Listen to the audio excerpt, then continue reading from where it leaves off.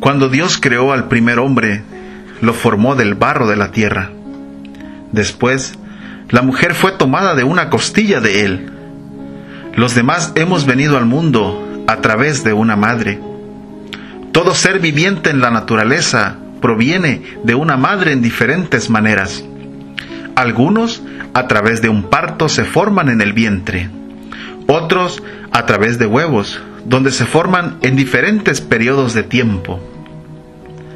Cuando Dios quiso enviar a su Hijo a la tierra, pudo haberlo enviado en cualquier forma y de cualquier manera.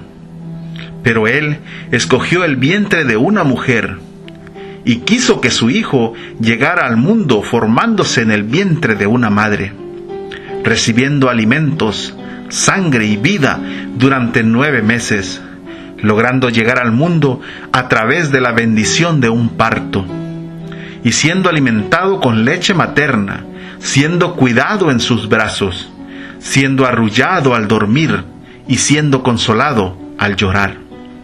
Cuando se iba a dormir, le cantaban canciones de cuna. Cuando despertaba, le cantaba canciones alegres y jugaba con él.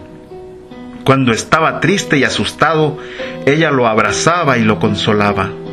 Le enseñó a caminar, le enseñó a hablar, le enseñó a comer, le enseñó a respetar a su padre, le enseñó a amar a Dios.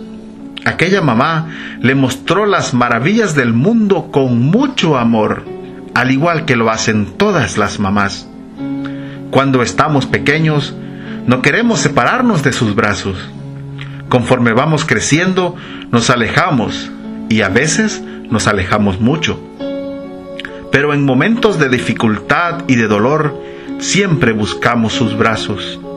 Y ella siempre está ahí para darnos consuelo y apoyo. Cuando los amigos te fallan, cuando tu pareja te falla, cuando la vida es dura, ella siempre está ahí contigo a pesar de todo y a pesar de tus errores. Nos acordamos de ella cuando tenemos problemas y necesitamos un consejo. Nos acordamos de ella cada 10 de mayo. A veces ni de su cumpleaños nos acordamos. Pero ella siempre se acuerda de nosotros. Siempre seremos sus chiquillos consentidos. Cuando Dios envió a su Hijo al mundo, buscó al ser más puro y amoroso. Buscó al ser que daría amor, cuidado, consuelo y consejo a su Hijo. Y le dio el mejor de los regalos. Le dio el privilegio de nacer de una mamá. Y todos nosotros tenemos ese mismo privilegio. Todos tenemos ese mismo regalo. Hoy no le quisiera decir a mamá de mis problemas y de mis temores. Hoy no quisiera ir con mamá a darle una queja y llorar en sus brazos. Hoy quiero ir a ti, mamá, y cantarte una canción y darte un abrazo enorme y decir, gracias Dios por mi mamá. Gracias por ese regalo. Mamá, hoy vine a decirte, te amo te quiero mucho, mamá.